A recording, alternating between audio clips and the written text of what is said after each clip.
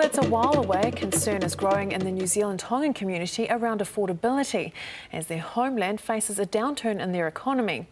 Earlier, John Pulu spoke to Tonga's Minister of Sports, Lord Vaea, and the chair of the New Zealand Tongan Advisory Council, Melino Maka. Well, thank you very much, uh, gentlemen, for joining us. Uh, firstly, Lord Vaea, uh, what will Tonga get out of hosting the South Pacific Games?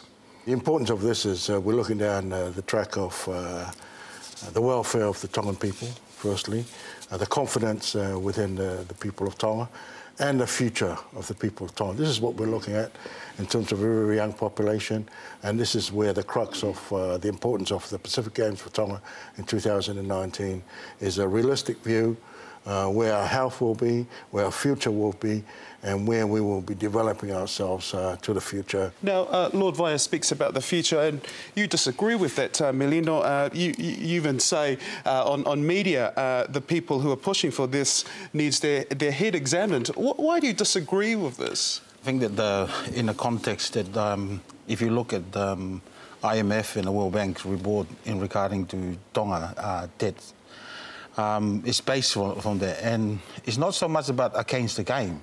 Uh, the issue is around about affordability. And given that the current financial um, uh, crisis uh, globally has affect um, majority of uh, Tongans overseas who actually uh, remittance um, money back home you know, uh, the figure is down by 20%, you know, uh, since the uh, global crisis started.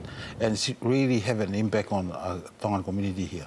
So we're just um, saying that it is good, the game, the, the concept is good you know, the timing we don't think is, is good enough for, for, for Tonga. No, it brings it down to uh, time and also money. Um, Lord Vaea, in your speech, you mentioned that uh, there, you have a sound technical plan. What is your plan and how is Tonga going to afford 70 million US dollars, which is uh, the uh, amount that will be spent on this? How will they fund that? The, the development, of course, of Tonga doesn't uh, begin today.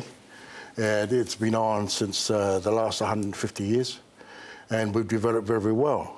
Our development has been based on our education, and we've come up very well on that. Now we're branching out from that. We're going beyond into the world that rests and relies on a Northern Hemisphere uh, stock exchange, finance. That's, that's held outside our region. If we are to sit here and say, what can you provide for us rather than get up and do something? I think that's a that's a different uh, different issue, and this is where we are at this stage. And I think, uh, with due respect to to uh, what Melino says, uh, we can't sit back in time and say, you know, we're relying on you to set remittances. We have to be positive. We'll rely on us and doing an investment package. We'll rely on our tourism. We've just changed our tourism.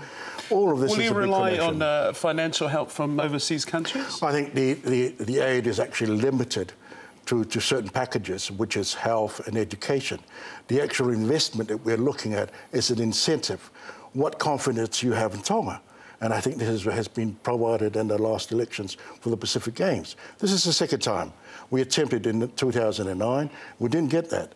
2012, we have received that with a 16 to 6 vote. That's a huge uh, slide for, for, for Tonga. And I, and I believe the confidence is there. We have to believe in ourselves. So how much will the Tongan government be forking out to uh, fund this South Pacific? This is, this is a development not only uh, in terms of, of, of finance, it's a confidence development. It is a development within yourself. If we are to sit back and rely on, on the beneficiary of welfare from Australia and New Zealand, then we can sit back and, and lie in bed and wait to die. That's not, that's not the way to live. We have to stand up for ourselves. We have to come forward. We have to come up realistic and, and look at these things. Melino, uh, 2019 is seven, seven years away. Do, do you think Tonga can uh, pull it off in time? My concern at the moment, it is good to some of those uh, inspirational um, issues that uh, Lord Vaea has talked about. But I, what really worries us at the moment is Tonga is limited for uh, overseas uh, revenue, apart from remittances. You know, we have agriculture, fishery and tourism. I, I read the, the IMF and World, um, World Bank report. It's touched about those those things, but I think that's where um, that, that, we worry about. If Tonga look about uh, 2019, they have to actually uh, create some new settings in, in order for them to, to have the, the confidence of overseas investors. Lord Vaea, can you guarantee Tonga will uh, pull it off and host the 2019 South Pacific Games? Yes, our people, our games. This is what we're for. And we can only develop towards with, with that with, with, with a certainty. We will. We have a pledge not only for our neighbours who voted us in, but we also have a pledge for Australia and New Zealand to participate in these, in the welfare and, of course, development and investment that we have within ourselves and, of course, the rest of the Pacific. Well, we'll definitely uh, be uh, keeping an eye on that. Thank you very much, gentlemen. Lord Vaea, Melino Maka, Malo Apito. Thank you. Malo.